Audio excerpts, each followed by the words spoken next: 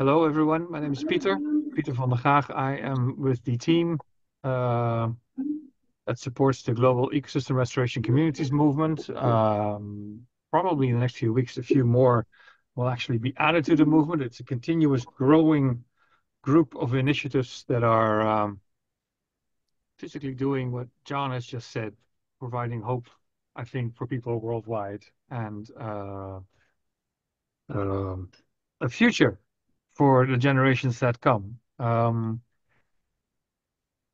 briefly, uh, today it's a fireside chat. Uh, we do these monthly.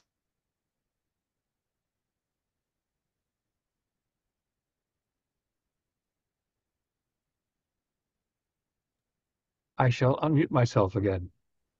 I think I'll blame Kath for muting me. um, if you could mute yourself and maybe even turn off your video because some people around the world do not have the bandwidth that uh, many of us are afforded with. And if, also, if there's a lot of videos going on, uh, those people will not be able to see what we're uh, what's happening here or, or, hear what we're talking about because it will be jumpy and stalled or even break down.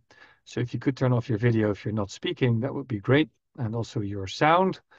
Um, then we can then we can continue. Uh, there are still people coming in, and Kath, uh, who muted me, and I will never forgive her. Uh, she she will continue to let those people in. Uh, so don't worry about that. If you see those people um, arriving in the waiting room, um, usually we start with a with a PowerPoint with all the stuff that's happening because but because it's so early in the year, not much has been planned yet for the rest of the year. So um, what I'd like to do is I'd like to invite you to come to our website. Uh, erc.earth is the quickest way to type it in. If you want, if you're more into full URLs, it's ecosystemrestorationcommunities.org uh, dot earth, but erc.earth works too. And then go to the participate part of the website and check that regularly. Regularly, you'll see what each of these ERCs is organizing that you could participate in yourself. Um, more long-term volunteer roles, uh, expertise that's being requested. It would be great if you visit or tell your friends, and if you know experts, to tell them to come and visit that website so that they um, that they can become involved in the work of this growing community of initiatives. Um, today, um, I think I still need to. I think, am I still allowed? I wish you a happy 2024. Um, Someone said it's not 2024, but 2020 more. Not more of the stuff that gets us all depressed and down, but more of the stuff that gives us hope and a future uh, that we believe is worth uh, working towards uh, for all of those that all of us that live on this planet, and that's not just humanity. So um, happy 2020, more of the good stuff. Then from me, um, that's all I have to say uh, we have John, who is going to briefly sort of reflect on what he's been thinking about in the last few weeks, and he's already started a bit. And then after that is the um, the the the keynote, if you could say it that, uh, around the fireside, uh, around the fireplace. It's Guy Guy Tiesi from Farm of the Future, all the way in Brazil, uh, in a wonderful location, right on the point where the Pantanal, the Cerrado, and the Amazon come together along the Araguaia River, uh, and he's uh, amidst many of the newly emerged soy farms there in the past 10 years, trying to form this beacon of sustainability, regeneration, and restoration. Uh, he'll get most of the time today. Um, if you um, uh, uh, and after that, we'll open the floor to everyone here uh, because it's a fireside chat, and it comes from the idea of camping together, trying to restore this planet. And then after we're done, after a hard day's work, we light a fire, we sit around it, and we go a little bit deeper in who we are and what we're doing and what's motivating us and trying to learn more from each other. And that's what these fireside chats are about in this virtual online world of Zoom but it is supposed to be as informal as that. So please feel free to come in with whatever you wish to come in with. After Guy is done, ask him questions or present something yourself. We can have a conversation.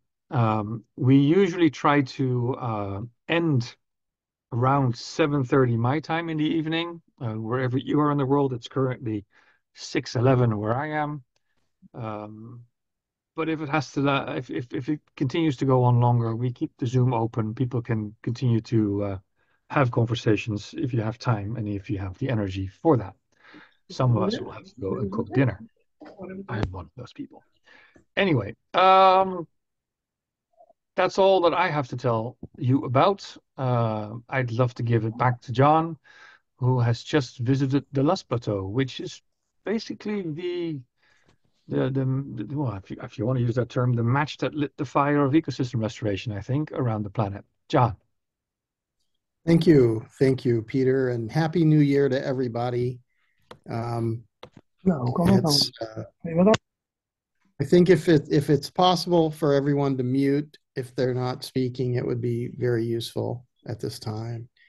And um, it's it's really great to see this movement continuing and growing because we have the ability now to really do something. And we're seeing that mass uh, mass collaboration and mass participation is the way forward.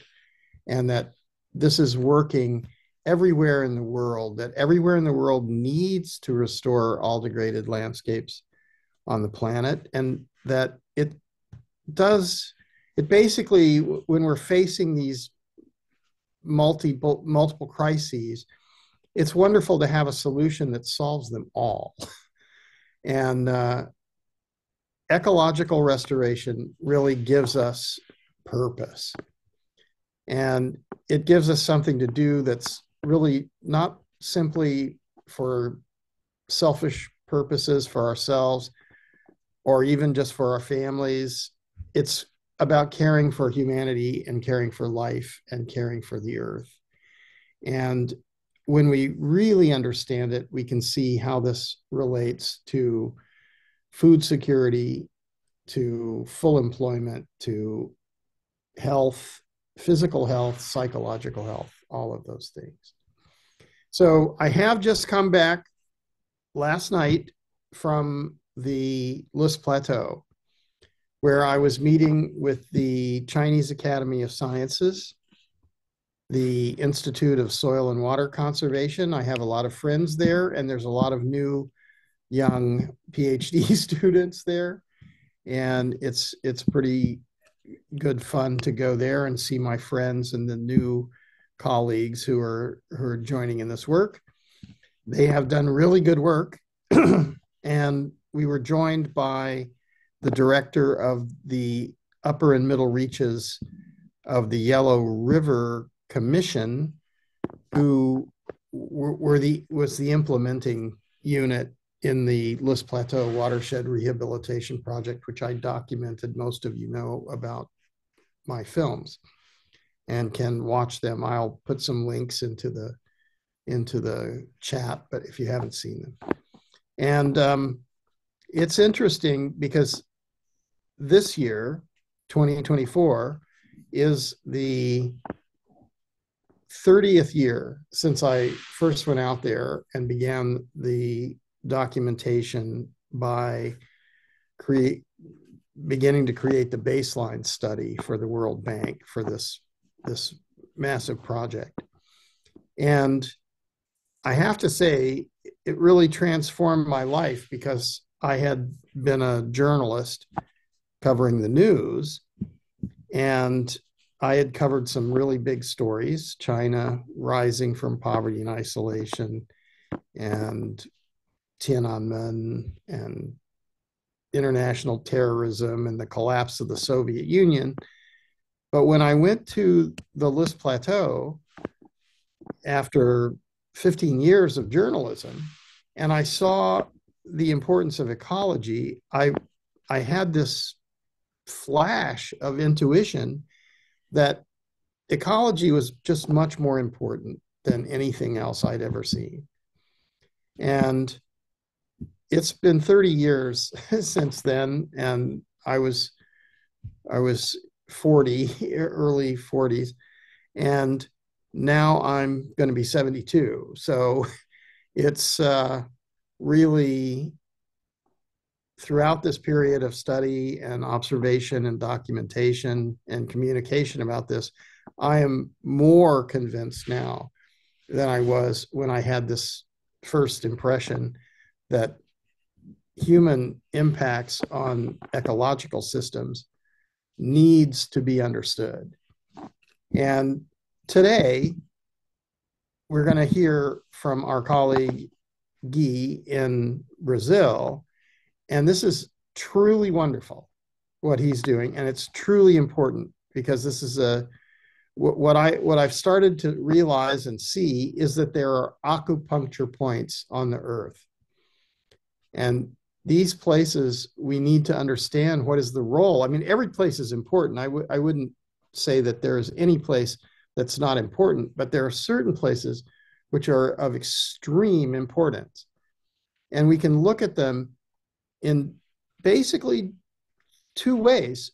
They're either functional or they're dysfunctional.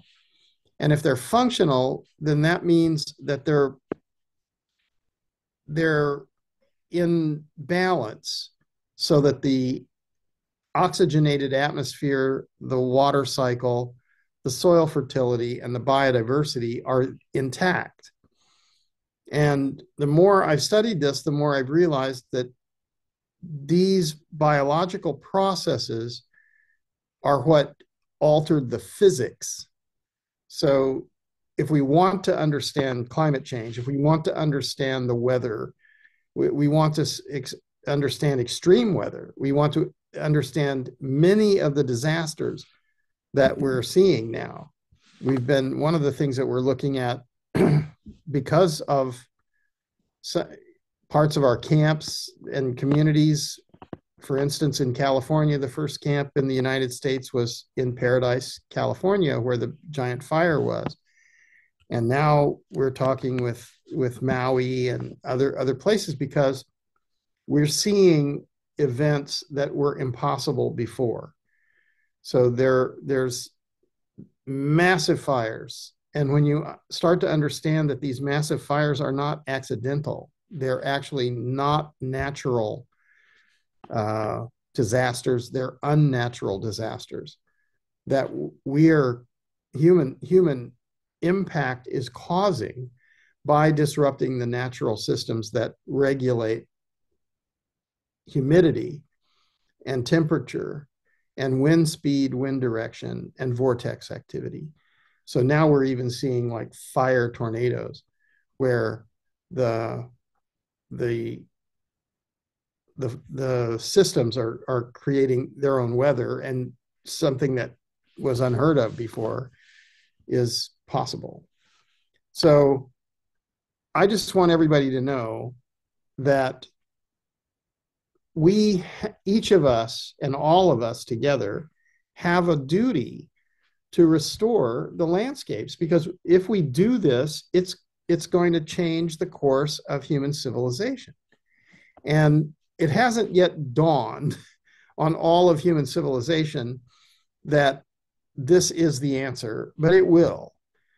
Or we will fail. But I don't think we're going we can't fail. humans, when we understand this, we're forced to, to do this.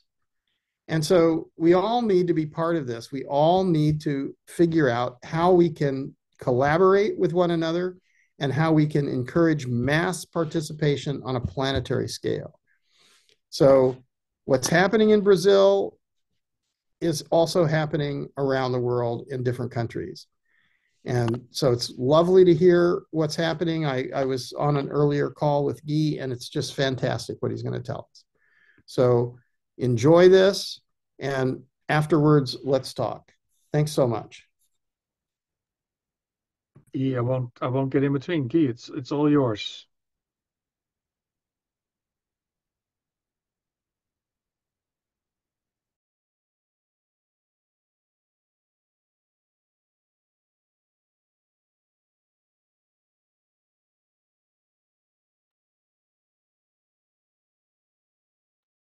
We did see it for a second, Guy, and then it disappeared again, your PowerPoint.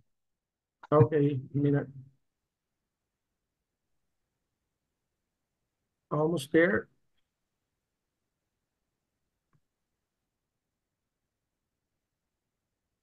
Okay, there we go. Can you see and hear me well? Yes, I Good. can.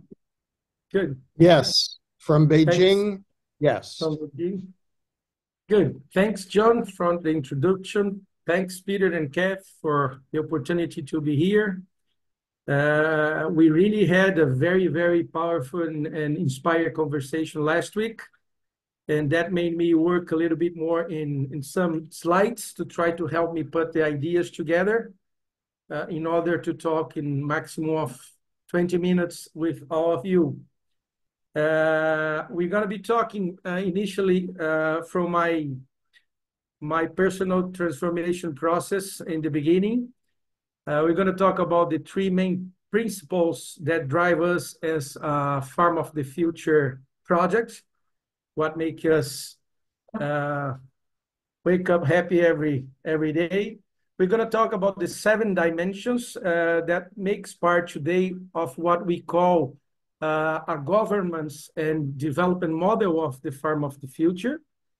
And finally, I would like to spend some, some time on the designing of the landscape, the territory and landscape design, and how we as a team are working on this architecture uh, to go from uh, a conventional farm to a farm village or to a, a farm of the future model.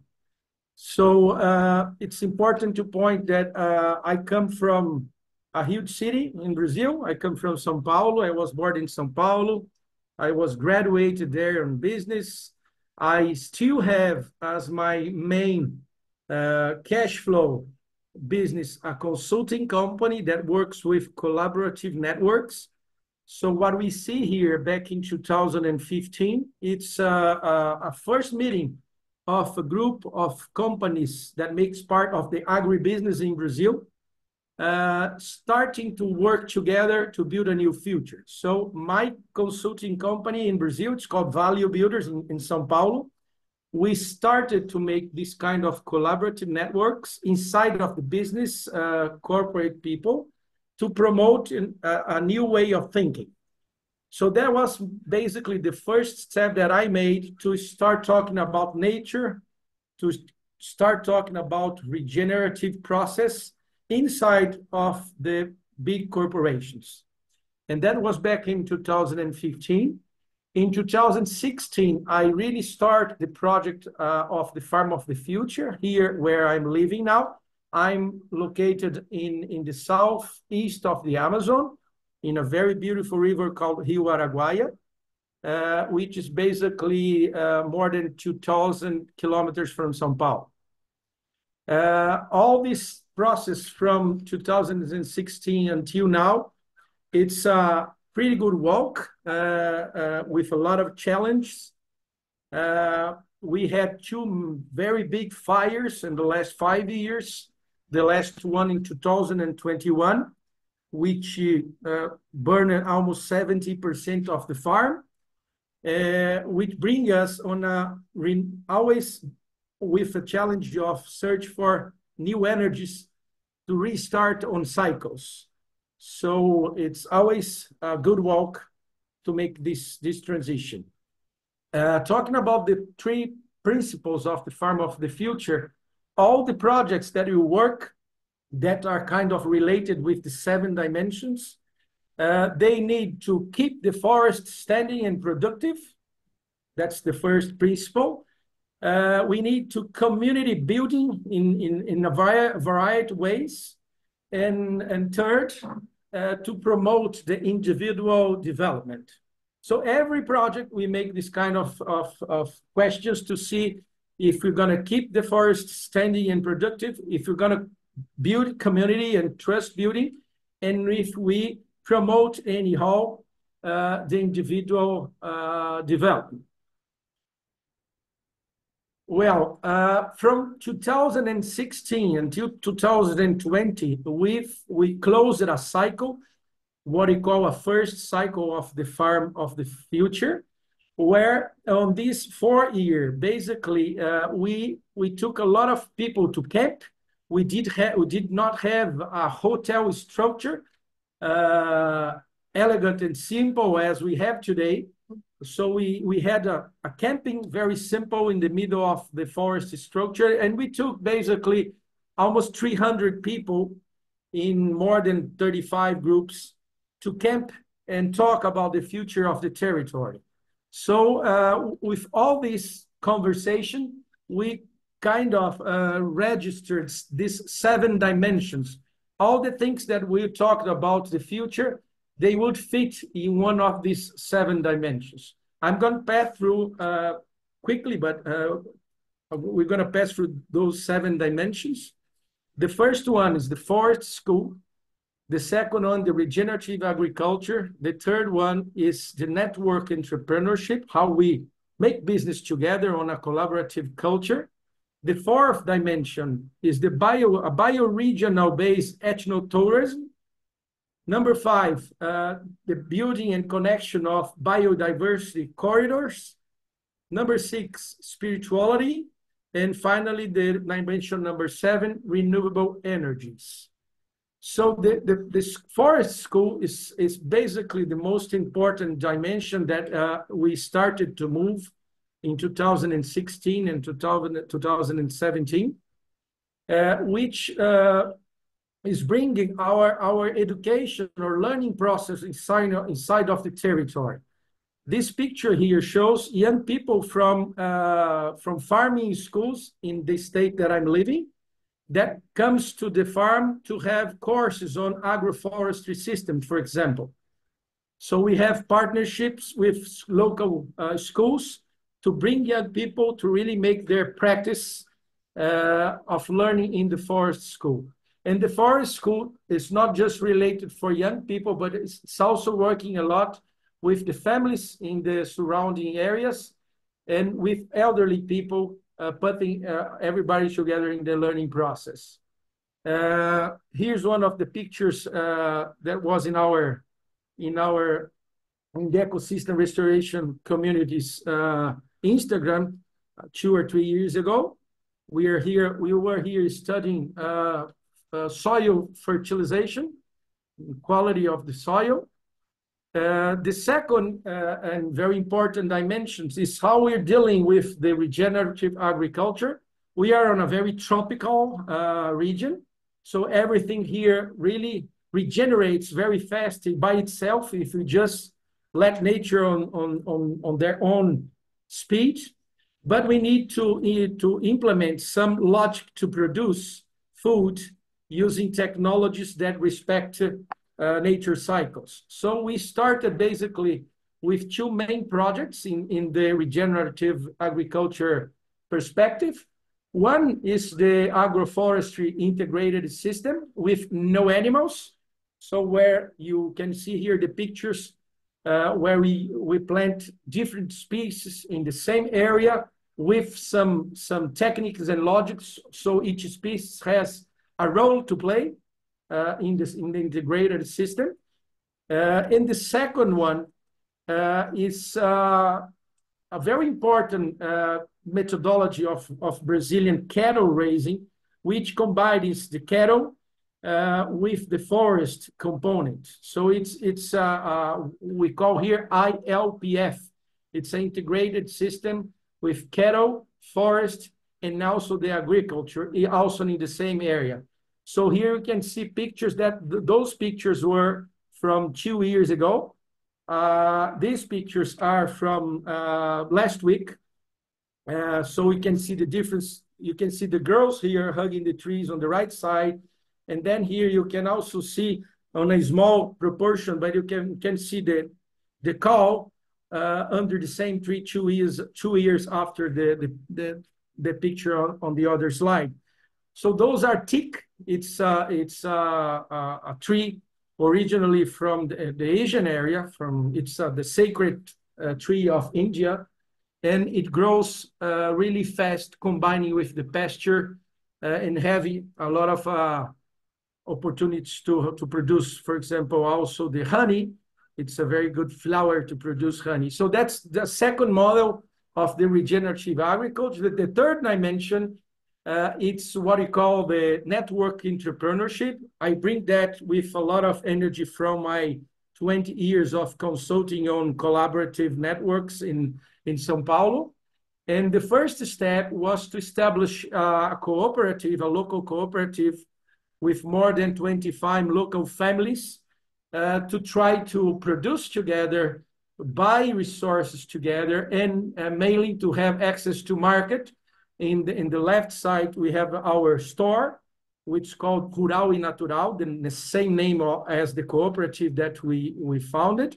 And the cooperative today helps local people to do uh, projects together, mainly on uh, family, family, agriculture and uh, local-based community tourism, since we are located in a very, very uh, beautiful area. Uh, the cooperative also started to look uh, for project, basic projects we felt that we had a very uh, hard water problem. So here we see Maria and her husband uh, on this, on their land, our on land of 25 hectares, they didn't have any water anymore. So the cooperative started to help not just. I am scared. Uh, so we started to to to work with uh, the same uh, the same pump for 20 families, like uh, helping a group of families to, to share the same project of having their own water so they could produce after that. The fourth dimension is the bioregion-based ethnotourism. We are working with three different tribes in, in, that are located around us to bring, uh, uh, to, to put us together uh, to learn with each other and to receive people from outside to experience how are uh, the, the, the indigenous Brazilian indigenous life here in, in, in the Amazon, in the Tocantins, in the Araguaia River. Here we see pictures of the Krao, uh, the Kraos. They, they are really known for their ability to celebrate, to sing and dance. They, they really reach uh, a high frequency dancing, celebrating, and singing. And they are already coming to the farm of the future, and we are already coming to their to, to, to their their village to exchange knowledge and to start doing good things together. Well, uh, we're talking about the, the main uh, dimensions, uh, spirituality, renewable energy, and uh, biodiversity corridors, we can talk in another opportunity. Uh, but now I'm going to jump in uh, in, this, in, a, in an important model which talks about how we are making our designing, our transition design, our landscape design. So here we can see uh, the map of the farm of the future. It's like a rectangle uh, with 500 hectares. So we have like five kilometers long, one kilometers wide. Uh, on the left side, we can see a beach. This beach has, it's in the Araguaia River beach. Uh, this beach has uh, like almost two kilometers uh, of length. And in this season of the year, it's all underwater. Uh, the river goes up, up to 10 meters every year, up and down. So during raining season that we are right now, all these sand beach, they are underwater, and we have a lot of, uh, we have like the biggest uh, floated Amazon forest in our in our regions, in our place, in the place that we are. Uh, here we started to we we took half of the farm, and we are we made that legally uh, permanently uh, preserved there is a legal model in Brazil that you, as a owner of the land, you can protect it forever, independent on sales, uh, sale the property to another people in the future, independent on having my daughters uh, leading and running the farm in the future. Half of the farm, it's eternally protected. So it's the, the blank area where you see. The other areas that we have squares, that's where we are developing a model uh, with 10 hectares each one of these areas, and we call that agroforestry islands. Uh, in these areas, uh, we're going to have uh, three different families living together on these 10 hectares. And before having the three families, we have uh, a project designed. So we now are working on uh, a variety of different projects that are really uh, connected to the territory, to, the, to what the territory has as its nat natural resource. So we're designing different kinds of projects that goes to from agroforestry system to honey productions to uh, bioarchitecture to cattle raising, uh, a, a lot of different varieties. Each kind of project has connection to one or some specific uh, agroforest islands. Uh, again, 10 hectares each one. On the left side, in the middle is my daughter, my older daughter that lives in, in Amsterdam nowadays. Well, actually, she's back to Brazil. The youngest still living in, the, in Holland. Plinio is my great brother and partner that helps me in these project activities. And on the left, Maria, which is one of the first child that's already living in the, in the farm of the future with her family. Uh, I'm going to talk about two specific uh, specific islands. The one that I call River Island is where I'm living right now. So I am the first family uh, living in this in this first island. Uh, I moved definitely from São Paulo to to the Araguaia River uh, during pandemics in 2021. Uh, and the first movement that I made was basically to, to build on this area that we call the, the Ilha do Rio, the river island. We started to, to make the hotel, the Jungle Lodge project. So here's where I live. It's my cottage. We call that the Oca Lodge. Uh, on the left side was when was uh, when we started to make the construction in 2021 it took one year to have this uh, Oca Lodge and other nine uh, lodges ready to receive people. So we started in this island to focus on the regenerative tourism dimension. So it's one of the multi-business uh, value building uh, format that we have. And the hotel, the Jungle Lodge, it's one of the business that we are we have running nowadays in the farm of the future. And I'm the first, first family living there, uh, working on this project with Raquel, my wife. And we are waiting for a second and a third family to help us to run this business. Uh, as Satish Kumar likes to say, it's uh, it's human scale business. So you have 10 cottages, 10 lodges, and three families can take a very, very, very close and good care of the, the, the guests that we're going to be receiving uh, to be in our hotel. Guests that, that are going to be paying to stay and guests, local guests that already are working on local projects using our hotel to get together, to celebrate, to design new projects, and, and, and to build community. Uh, so that's the, the, the island uh, of the River Island, where we have the hotel as the main project. And we're going to have, as I told before, three families working together. In the middle of the, this, we call the cooperation island. It's like a shared service island that's going to support the 24 other uh, islands uh, to with with uh, with pro uh, process like education. So we're gonna we're gonna be having uh, the structure of the forest school in this area. We're gonna have our nature hospital. We're gonna have the hospital on this area we know that uh, it, since the school and the hotel, uh, they're gonna they're gonna be very very very different than the schools and hotels that we have today and and hospitals that we have today. But we are starting to make first movements and first prototyping to wait for people to come and together with community uh, build the hospital and the school for for instance. In this area also we're gonna have our library our part of uh, spiritually meditation center, our art craft area. We're going to have also an area that we've gone proce uh, food processing. to produce and add value on the foods that organic foods you're going to produce in the farm. So that's the unique island where we will not have three families, but we're going to have up to 30 families working on this uh, shared service area.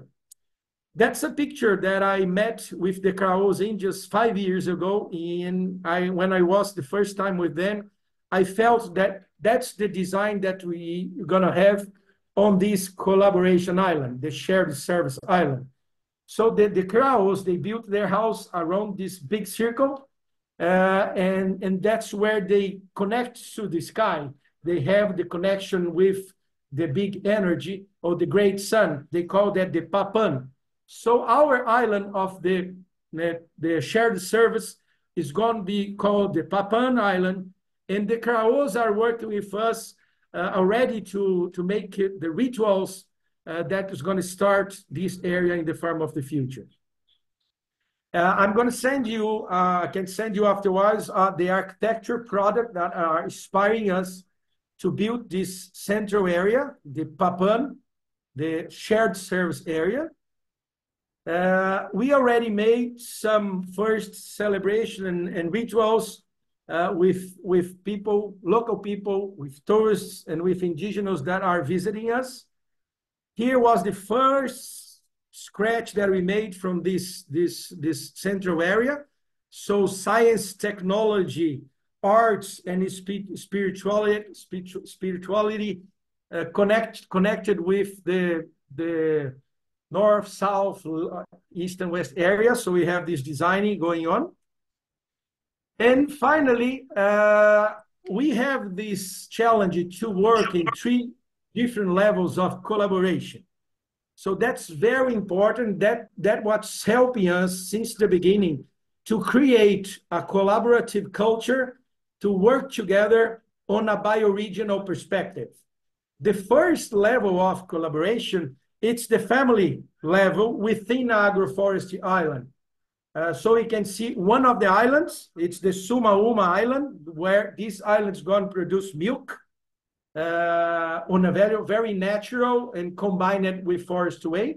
But the first level of collaboration will be among the three families that are going to be living there. The first family, it's like the agroforest. You have a pioneer species. So the first family always is a family that has technical expertise and competence and energy to start up the project. The second family could be a combination of learning and helping. And the third family can be a, a learner family that can that will be in the future the family to be uh, the leading family and and process and, and make it uh, uh, uh, make the succession process uh, going on. So the first challenge is how three families live and work together in how in different houses, uh, 50 meters, 50 meters to 100 meters a house for each other, a common area.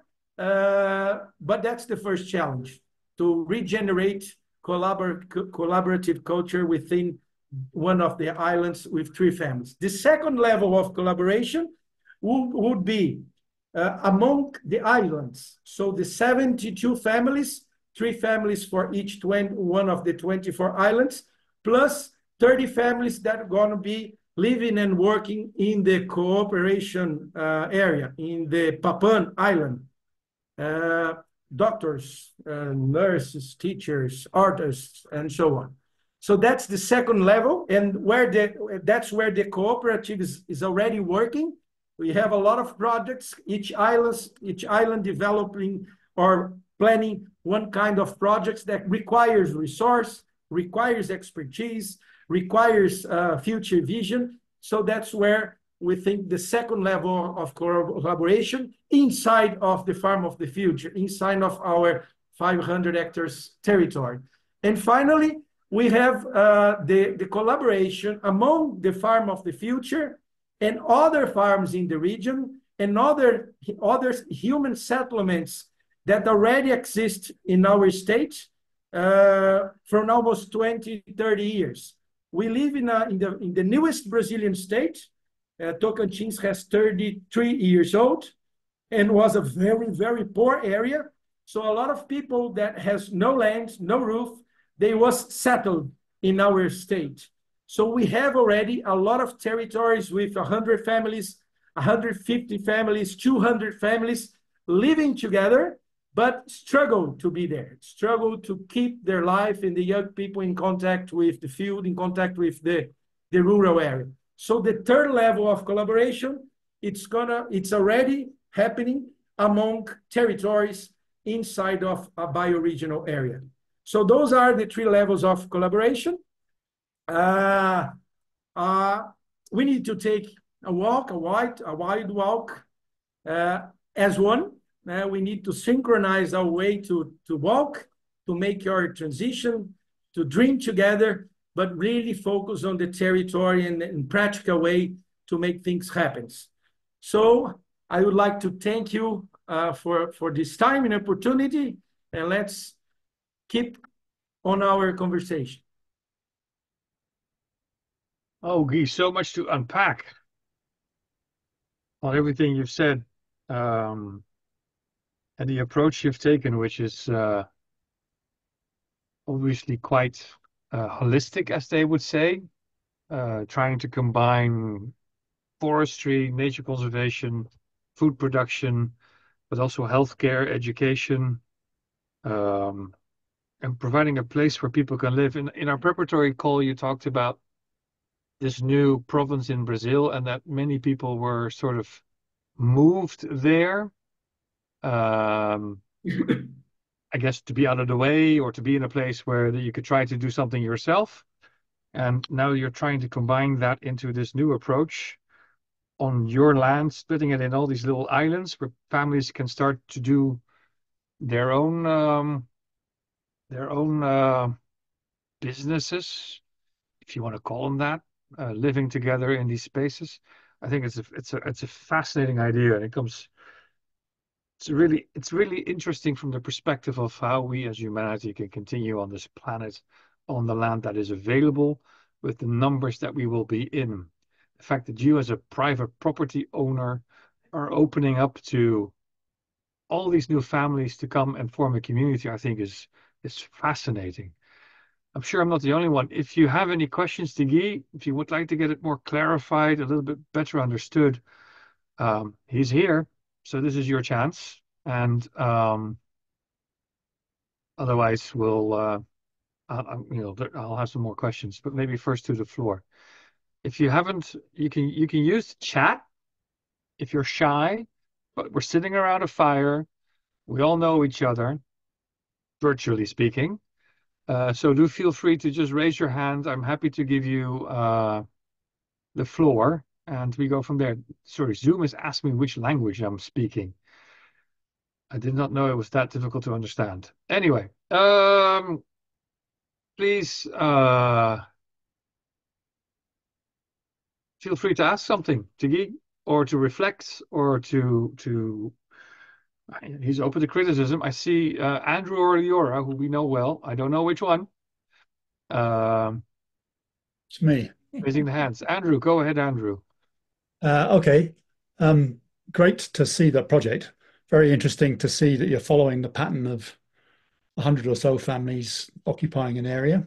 Really like that. Um, I'm a veteran of intentional communities, lived in a couple of those. And one of the things that I know uh, pops up on a regular basis is conflict. And I'd be really interested to know what strategies you might have on board for dealing with um, conflict in your communities. Good question, Andrew, and thanks, thanks for asking. Uh, I would say to you that the main strategy, not to avoid, because we consider conflicts very healthy when they are handled in a good manner. They are important, right? And mm-hmm. and we are sure that we're going to have a wide diversity of people there, uh, and we will have uh, good conflicts. But the main conflicts that I figure out in 20 years already uh, working with and, and knowing different projects around the world I've been a couple of times to Israel to try to learn a little bit about the, the kibbutz process and why uh, there's a lot, there's just five of them alive today, at least two years ago. And one of the main things is to take property out of the table. So to, to be part of the, the, the, project, you don't need to buy anything. You don't need to have money to buy. And you, since you're not going to buy anything, you're not, uh, you're not owner of anything. You have long-term access to be there and working together with other families. Uh, we would need some more time to explain that in details, but I'm working on the legal issues uh, to guarantee that as a family comes and start working with no property security, uh, depends on the term of the project. It's a short term or if it's a long term, you have the guarantees that you're going to be harvesting or have the returns over the investment that you have done. But it's making a lot of sense for us to take property out of the table, including myself. I'm we're working on a project that I don't want to be the owner in 35 years, in 40 years. So I need to getting out of the property as the community anyhow uh, started to have a, a co-management system without being owner of a specific piece of the land.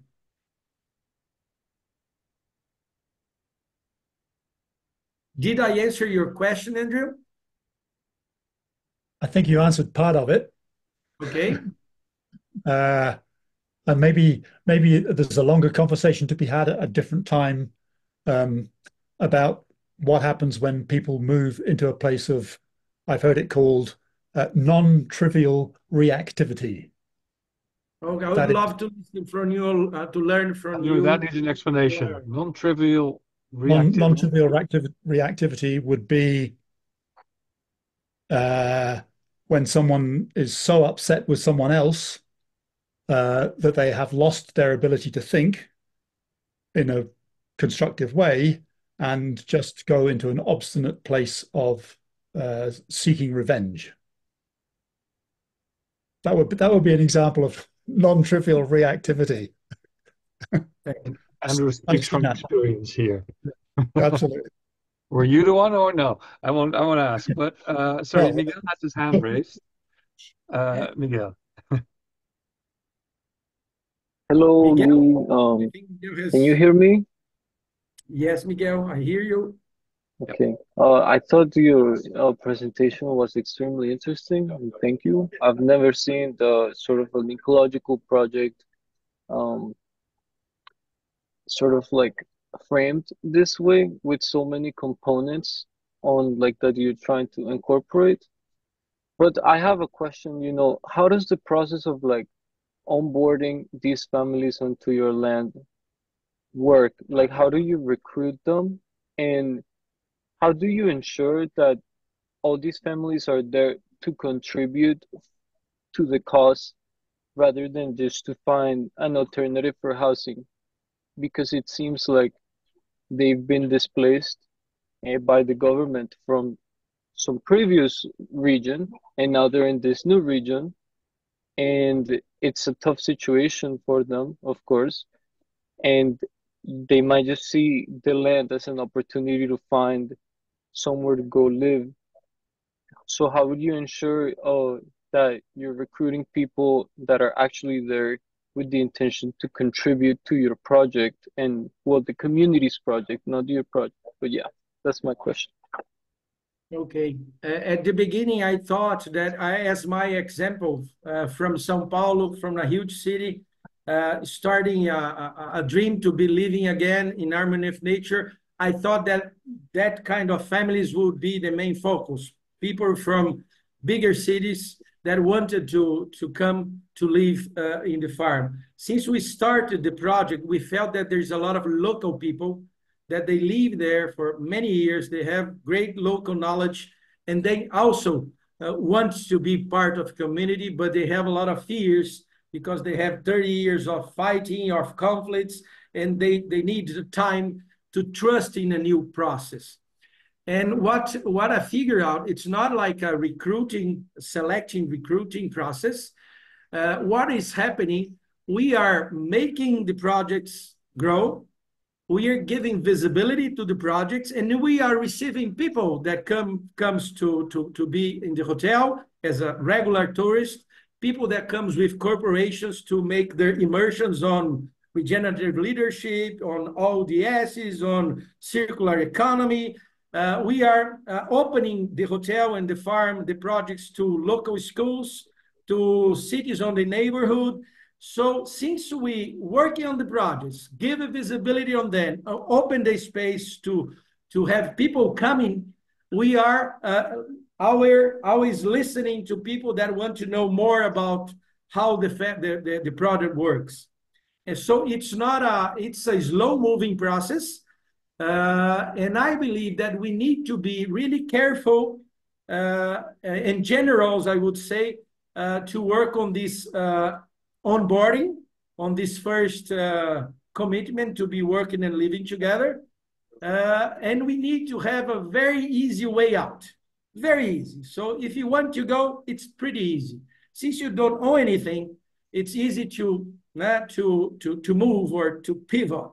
So I, I, I would say to you that we're not recruiting, we are giving visibility and, and provoking interaction situations to be talking to each family or each couple, each people, how can we make the project together? And we have a structure, internal structure, which is not a business accelerator. Uh, it's, it's a bio business cultivator. So we have an internal project area that starts helping the farm and the family to talk about the projects and uh, about the investments, about the goals, about the technique, the technologies used, about the resources needed, and then define how the project's gonna move.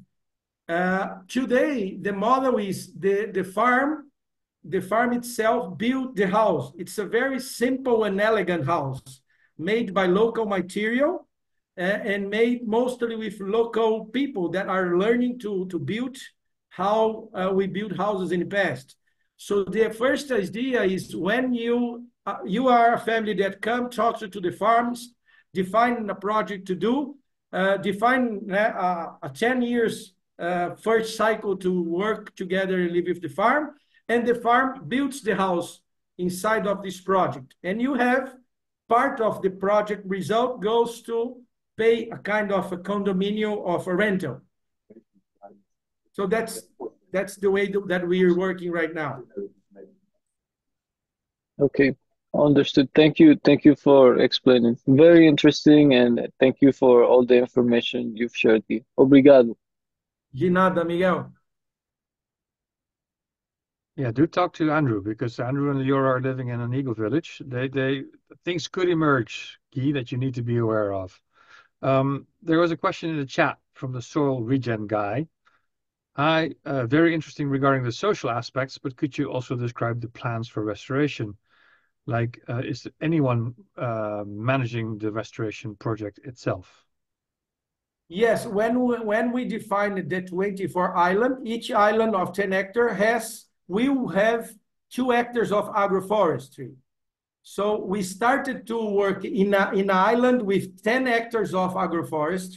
So we have one island all covered with the agroforest system. Uh, it's the business of this island. Uh, the river island is the hotel, the business. The agroforest island has 10 hectares of agroforest system already started uh, four to five years ago. So we are learning a lot with this system and we are and in, in, uh, in every new island, we have two actors. That's the basic of the concept. We have two actors of, of the of the of agroforest system. Besides uh, the the let's call the root sales, the, the root system of the agroforestry with no animals, with no cattle raising, we have the other system, which is more more uh, economical and logical way which is the one that I showed with the cattle and with the teak trees. We have four islands with that model, with, with some 40 hectares of this prototype. Since the trees are, are already four years old and 10 meters high, we are already working with the animals, uh, making make their, their role in the system. So uh, all the projects that we have in, in the farm, half of the farm is natural, natural reforestation. It's a protected legal area, as I mentioned. The other half, we're gonna have 30% of that productive productivity area with productive forests, which will uh, convert in 70% of our area of forests. Uh, but yeah, I could imagine. I remember in our conversation, the land was quite degraded. Um, you said in the beginning of your presentation, um, this is the tropics, just letting go, and it regenerates itself quite fast. Is that is that what you mean with the natural areas? There's no active restoration there other than letting go and allowing the Amazon forest, I guess? No, half half of the farm, it's it's it's a natural, it's already preserved. So we have half of the farm that already forests that are basically native forests that are having problems with fire every other year. Uh, we are now surrounded by soybean huge farms. It's it, it has created a disequilibrium on the area. So fires are coming more frequently now. So in this half part of the the farm, it's a native forest that we need to protect it, not make anything else. So we are making all those uh, big uh, with tractors to try to avoid the fire to jump into the forest. The other half of the farm is, as I mentioned, we need to have techniques and use technology to speed up production with natural restore, resource and no chemical dependency. Yeah. And and and so you're you're you're basically building fire buffers. If the fire comes from the soy farms, you're trying to slow it down by making these corridors. And uh, anything you're doing particularly focused on the pesticide pollution coming from those farms? Or is that is does nature take care of it in where you are?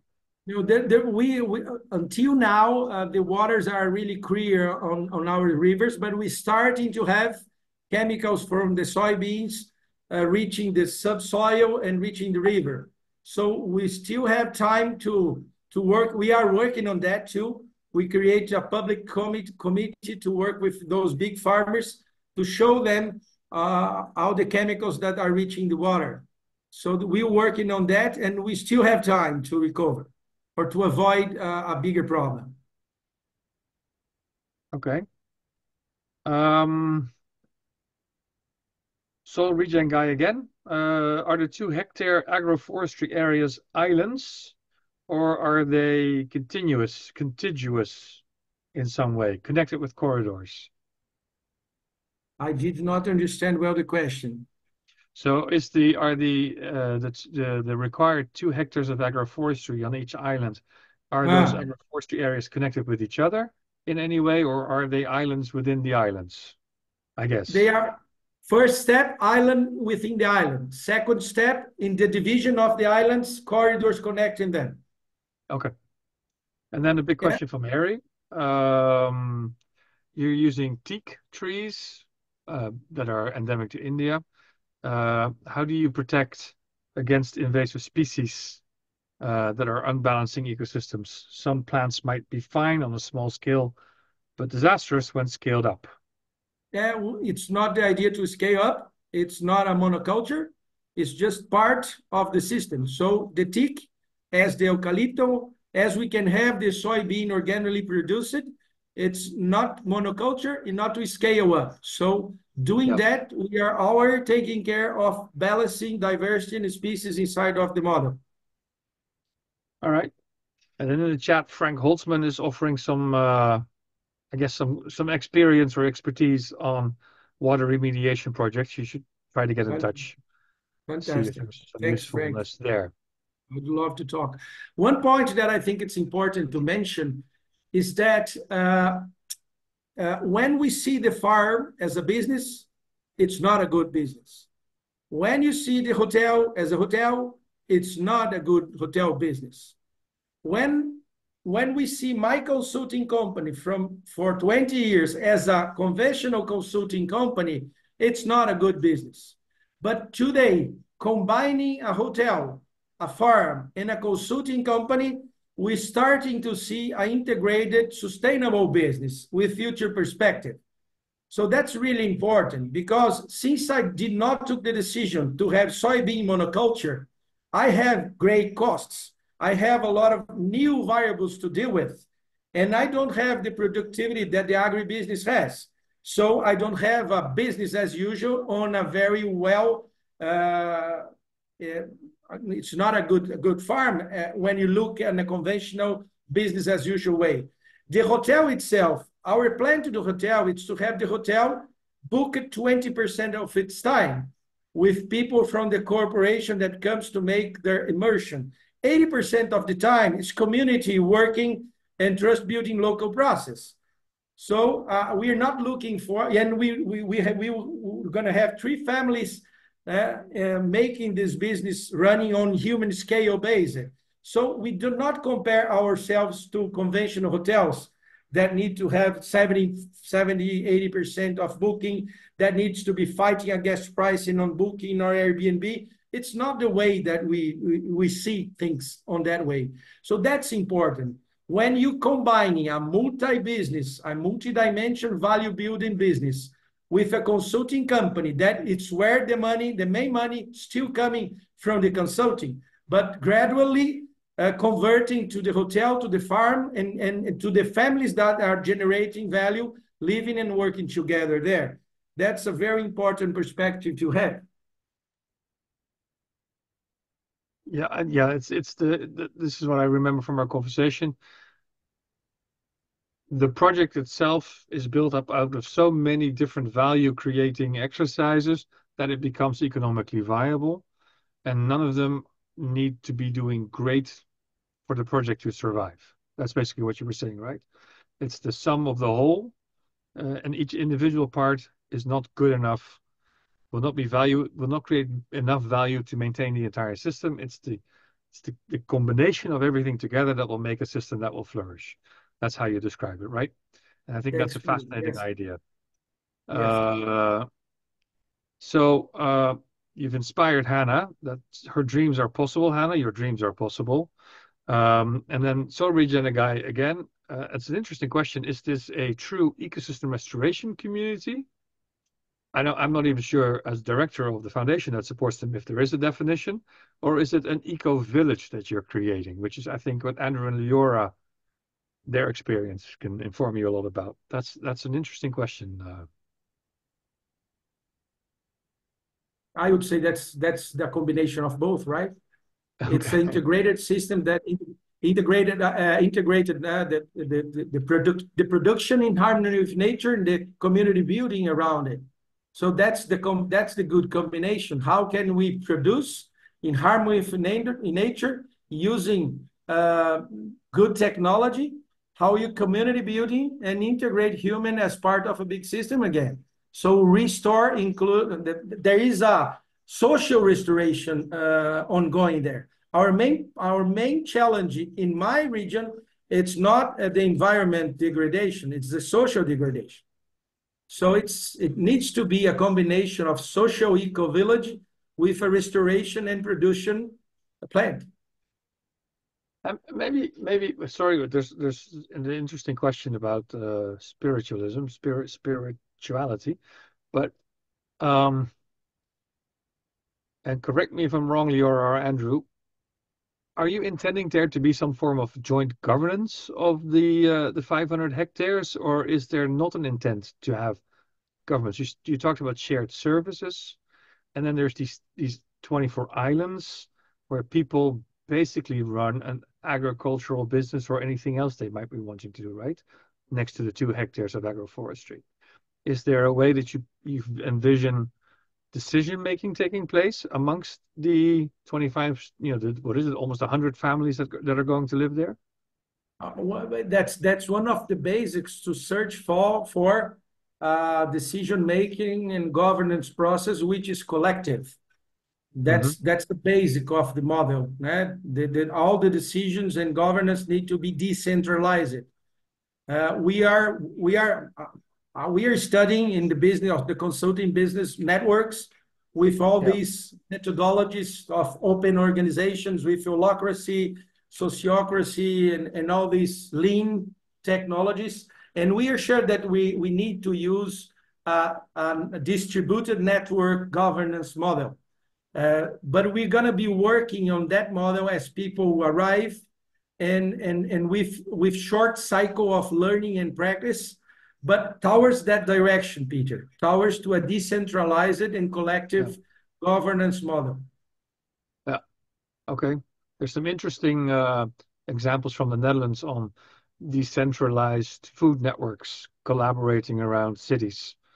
Uh, and there's some interesting uh, gamification theories being developed by an organization John has also worked with called Amped that you might find interesting to look into. Uh, it's it's it's not, you know, we're so used to governance being a sort of a council coming together and making decisions. There is there is decision making, but it's decentralized. Things happen from sort of a gamification type approach to things, like you know, 17 year olds, 16 year olds playing a game together on the global internet uh, and coming to decisions without sitting down to make decisions. Is that the type of thing you're interested in? Yes. There you go. Uh, we should try to connect. I think anyway, I can answer uh, Jen about the spirituality. There is a question about, please say a bit more about the dimension spirituality. Okay. So uh, since the beginning, uh, we started to make uh, rituals of silence, of meditation, of circular dancing, of uh, walking in the forest, uh, trying to really be uh, in, a quiet walk in connection with nature. Uh, my mother is a is a meditation teacher for a lot of years, so she sometimes bring uh, groups of elderly to be to be in quiet and silence experience with us. If from uh, from three years three years ago, we started with the indigenous of the Acre and Peru. We started to make these uh, ayahuasca uh, rituals. Uh, so they take place with with the the the, the they take place uh, every three months. We have closed groups to 20 up to 20 to 25 people. The indigenous that make this it's it's a tea made of two herbs one that, comes from the masculine energy and the other one for the family energy and we make these ayahuasca rituals during a week every four, three to four months. So that's another example of uh, spirituality development. And also we are uh, using for two years, uh, not the, the Gregorian calendar, not the mechanical uh, way of deal with time. We're using the law of time. We're using the lunar uh, synchronary as a way uh, to, to, to deal with time uh, deal with a more artistical and natural time and less an economical and linear time. And we do consider all these uh, law of time and syn lunar synchronary to deal with, with time, uh, a base of the spirituality and reconnection development, Jan.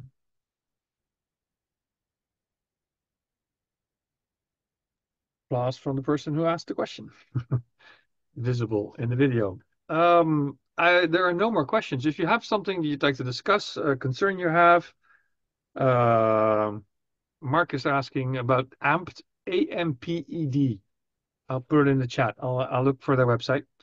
Uh, Mark, uh, A-M-P-E-D. It's they're they're in uh, Utrecht.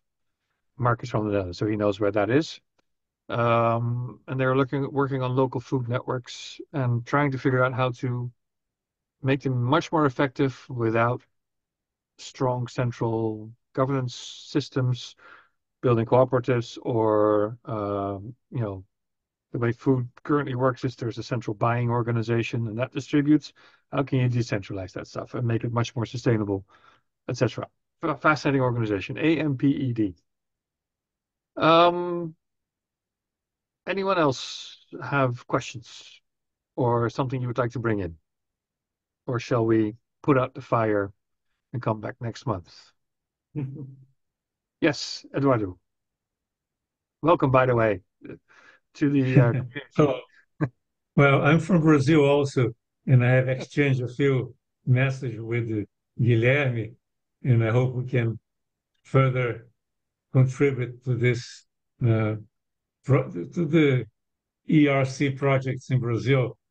But uh, I'm starting also a project in in near Brasilia, 60 kilometers from Brasilia, we call Paradise on Earth, Paraíso na Terra. And it's 800 hectares and we we plan to build uh, educational and research project. We already have a quite developed institution there.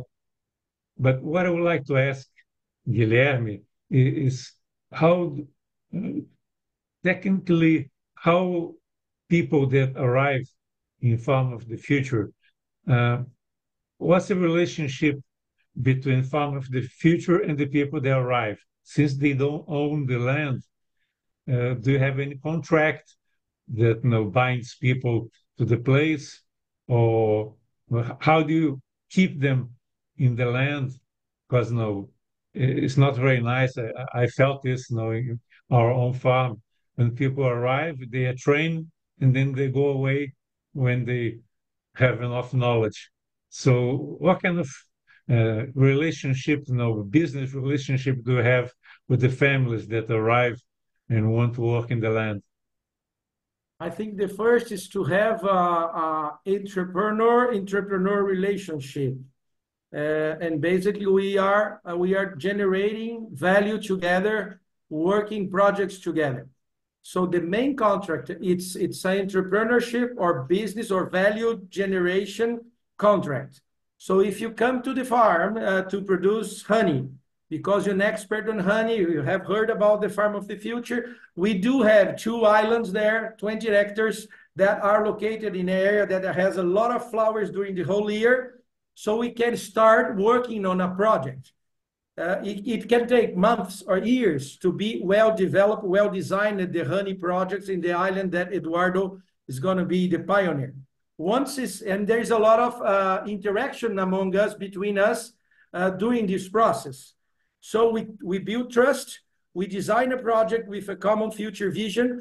Uh, we define uh, our roles and responsibility with the project you are going to be make the move in i really do want to live here and then we're going to sign a contract in the case of this example of honey production it can be a five years contract because we, we can start producing less than one year you can start producing honey different than a long-term project as for example cattle raising or forest so the first contract is an entrepreneur entrepreneur contract and then there is side contracts that regulate some, some activities. For example, uh, the rent that you're going to pay for the house, it's not a, a, regular rental because it's attached to the business and project main contract, but it's a rental project. It's a rental contract. So that's the way we are doing. Uh, so we don't have any, we don't want to keep anybody. You want that me and the other people want to be part and want to be here because we want to be here. That's why I mentioned that to get out needs to be really easy. Really careful yeah. to come in, really easy to get out, to exit. When you build uh, a house, for instance, uh, who is investing in the house? The, the person who is arriving, or do, do you have a joint venture like you, you invest part of the money in building houses or any other facilities in, in the in the farm? Both both can work by now. Since you are on an organic uh, developing process, the farm is being able to, as the family arrives, we have some principles of bioarchitecture. So we have like that one list of 10 materials that we're going to use. There is, uh, we already have the architecture plans there are modules and, and, and variations, but there is a, a kind of a standardization with a lot of options. If you're a couple, if you want to have kids, if you're already a family of five or six people, if you want to have uh, to, to work with uh, the hotel, having receiving guests in your property, in your in your house. So there is a lot of possibilities, but inside of a list of materials, inside of some predefined plans because it's very costly. Uh, we are more than 1,000 from 1,000 kilometers from Brasilia. The logistics here is very, very, very expensive. So if you need to bring mat construction material from outside, it's that's why we're using the teak. The teak, we have a farm one hour from here in Pará that we buy the, the teak that is not good. We buy the, the teak that is not going for exports, and we, we produce our own walls using the teak. And then we planted the teak uh, to, in 20 years, have own local material to produce the houses. So uh, by now, we are being able to build the house as the family arrives. But I feel that we can have a partnership with some, some company, H3 company, that works with bioconstructions and wants to help the farm to accelerate anyhow uh, the constructions of the house. We may we may do a partnership with the family. It's open for that too, but I don't think it's it's a good decision because the way, the better decision is to focus the investment with the family in the value generation and and not in cost. Uh-huh. Okay. Thank you. You're welcome, Edu.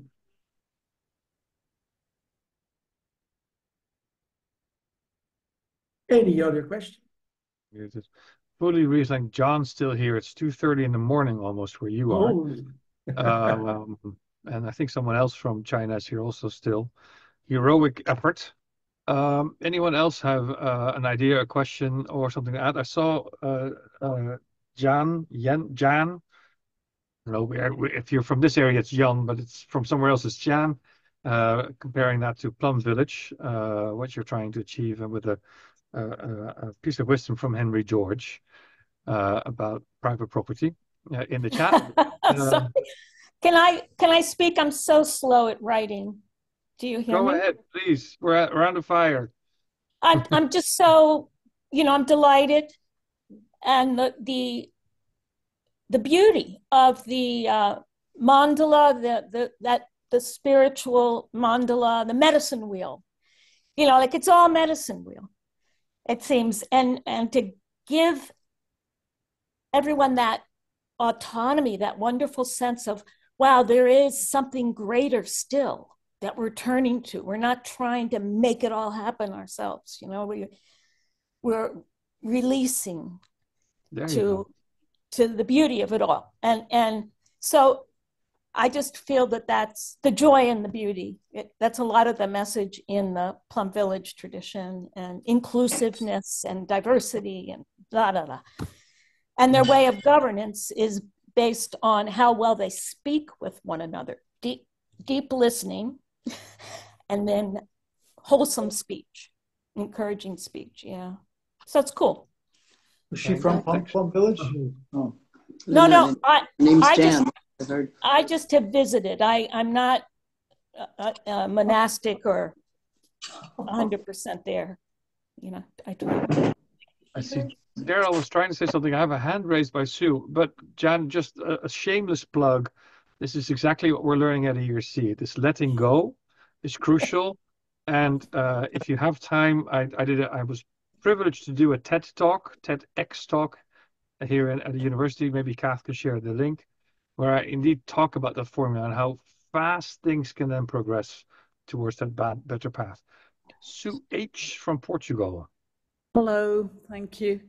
Um, it, it, I'm very grateful for all the information and um, knowing more about the project. A few years ago, the uh, government of Brazil, I think, and I may be wrong with this, um, committed with lo a local company to put electricity into the Amazon. And when we visited, there were lots of electrical wires going across water, and often the these electrical wires fell during storms and you know electrocuted fish and whatever else. Um, are you are you planning so? Are you, are you even going to use electricity? How does it work? I'm just curious about both electricity and storing water or utilities infrastructure um, and practical things about food for families. How, how is all that going to work? Thank you.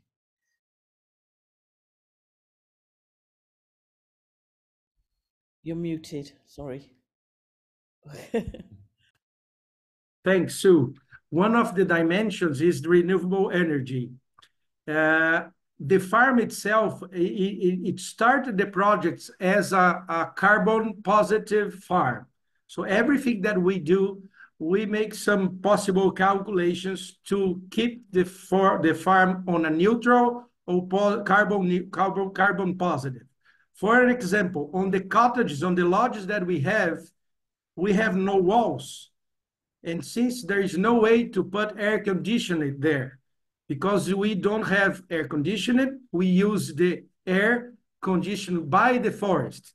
So we made a, a, a project where the cottages, the lodges, the bungalows are located inside of the forest.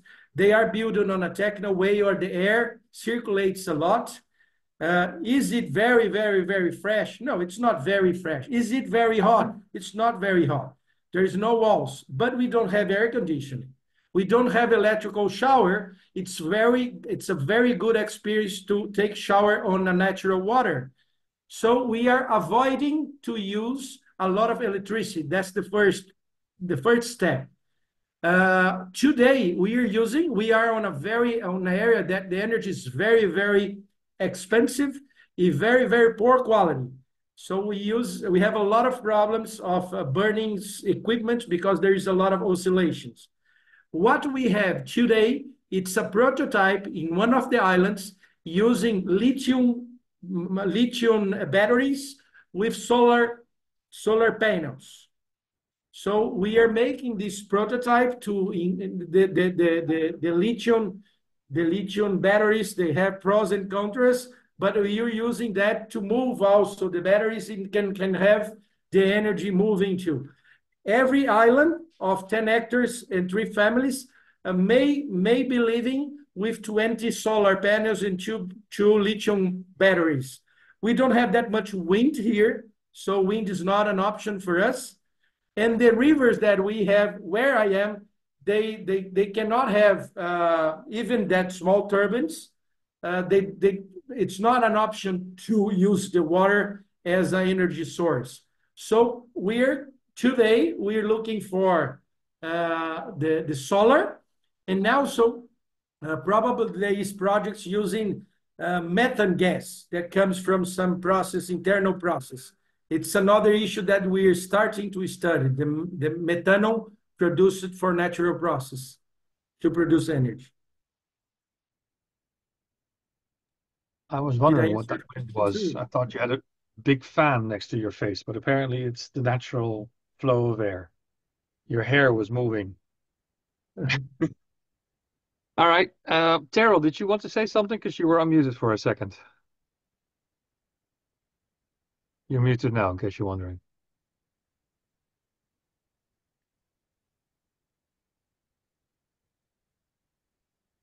No, I guess not.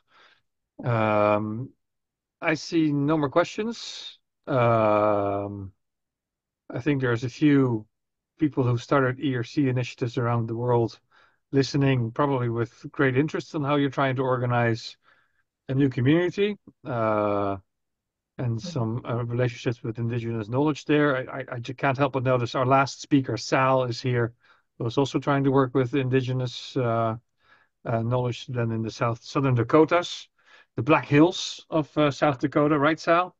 Um, thanks for being here again. Um, we're going to uh, put out the fire, but I see John turned on his camera, so maybe a few final words at 2.30 in the morning from John.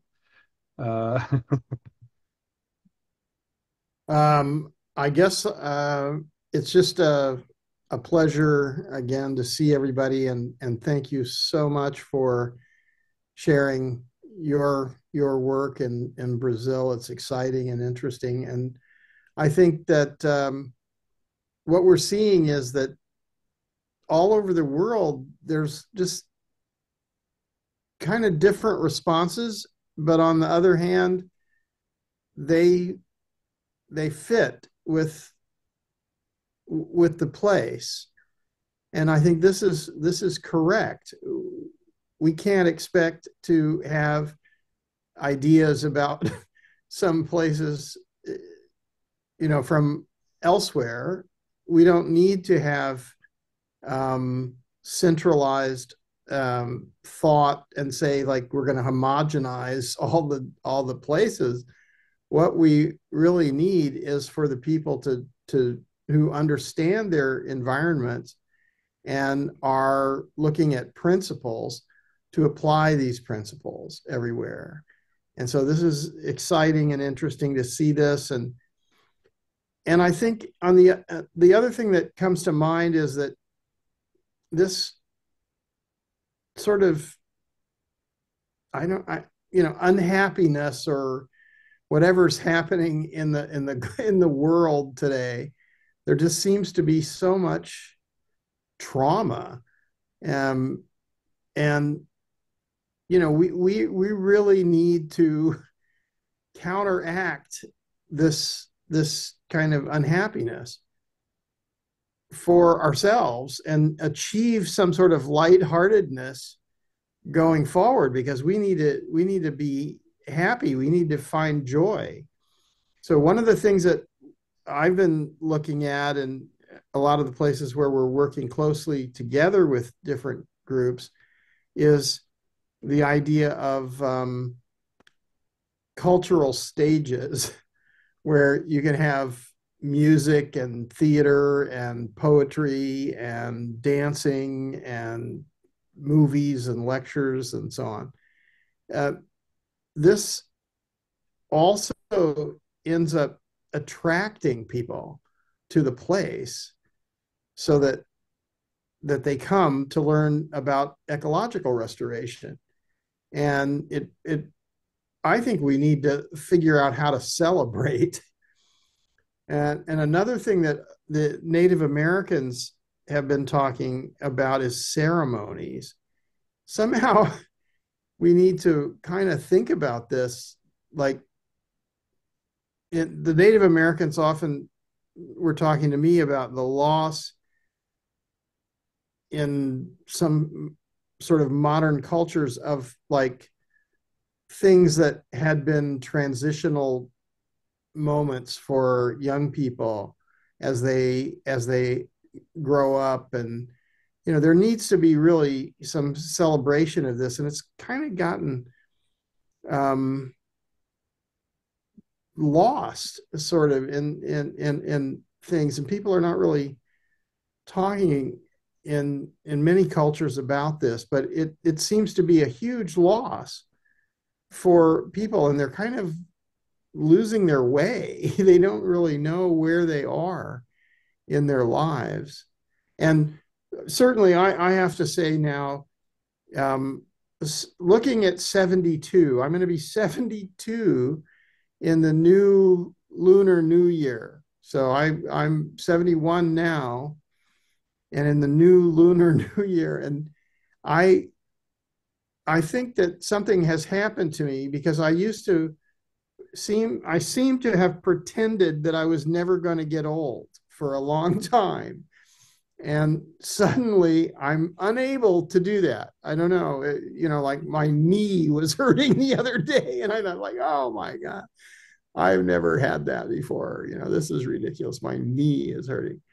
And um, I, I think that suddenly I have to, I have to just like take, take more awareness of the fact that like, God, it's great to be alive. Every moment is precious. And, you know, we're here, we're alive, we have a chance to do things we're called to do something now. If we're if we don't understand, you know, um, I kind of I like comedies uh, when I look at movies because I really can't take some of the some of the violence and other stuff. So I just li- like to watch these comedies, you know. And I I was looking at this one, and they said um, it, it, it's a hilarious film with Jim Carrey. I don't know if you've liked Jim Carrey movies, but he's he's he's looking, he's in despair, and he's saying, "I need a sign." And there's just like, how many signs do you need? You know, like if if if uh, if a hurricane takes out an entire city, is that a good enough sign? You know, or if there's do you need do you need to have an undersea earthquake that creates a tsunami that takes out multiple nuclear power plants. Is that enough? You know, I mean, like, or do you need do you need fire tornadoes? I mean, you know, what what is it going to take for humanity to grasp where we are in human history at this moment? And we're called now to to, to really understand this is serious. That we we can understand this. It's not it's it's not an impossibility to understand what we're seeing. And what I what I've been talking about with, the Academy of Science and the Yellow River, um, the Yellow River, um, you know, c- commission, is that we can see from this one example that if you lose the vegetation, then you're you've altered the physics on the planet. The surface temperatures are, are, are increased. Wind speed, wind direction, vortex activity altered, all of this. And when you reverse this and you see that in evolutionary time, the, the bio, biology self organized to alter the physics. And now it's up to us to understand that we can restore the vegetation and restore the soils and protect and increase biodiversity.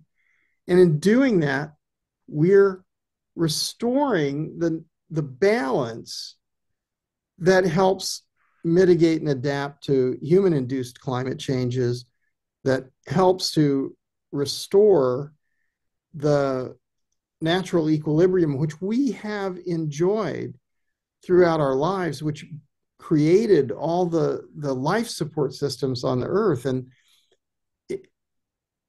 you know, the purpose of life, I've said this repeatedly for a long time, is not to go shopping. The the archaeologists who who come in the future are going to be looking and saying, what were they thinking about? How how can we go to this particular strata in in in our core sampling and there's just a toxic layer of trash? You know, like what are we thinking? And so let I, I I'm I'm afraid, you know, we we need to understand this quickly so that when the future scientists look back, they say that was the moment that they understood and and restored the balance, not that that they carried on and just created huge toxic layers. So be happy that you're all part of of this this transition that we're required to do you know and and celebrate it and help the young people see that their future is dependent on this understanding. And that mass collaboration and mass participation means we don't have to sit around waiting for governments and international agencies to somehow do this. And it, you know having just gone to the 28th convening of the parties of the United Nations Framework Convention on Climate Change. I do not hold your breath for for those institutions that have actually been created to maintain the status quo to somehow transform themselves into in, in, in, into something else humanity is going to have to do it everybody is required to understand this and, and to participate. So I think you guys are all early adopters and we just need to play more music, have more dances and you know, get everybody out there celebrating this because there's no other way further than this we're we're looking at terrible violence now it's it's Stone Age activities. Anyway, thanks so much for having me, and I'm very happy to stay up. Next month again, then, John, if you're still in China. um, I'd like to uh, um, do a sort of a formal closure so that we can also formally end the video. But feel free to continue the conversation. Um, my family is waiting for me to join them in dinner. I'd like to point I'd like to thank Guy for the presentation, but also for all his insights, thoughts, ideas, uh, and and and and trying to find a pathway in the place where you are, which I think is is incredible, and the complexity of everything you thought through is is enormous. So, congratulations on that, Guy, uh, and thanks for being here. I'd like to point out that there is a donate button to Guy's project on our website. Uh, Guy calls it positive and energy. I call it hard euros and and USDs. He needs them. uh, still, because so much of it is still in development. If you can't, don't worry about it. It's, uh, I hope he at least inspired you and that you can do something with that inspiration. Uh, next month we'll be back. I don't know with whom yet, but we'll figure it out in the next few days. And uh, more inspiration to follow every single month. Um, thanks for staying up late or getting up early if you did. And uh, see you next time.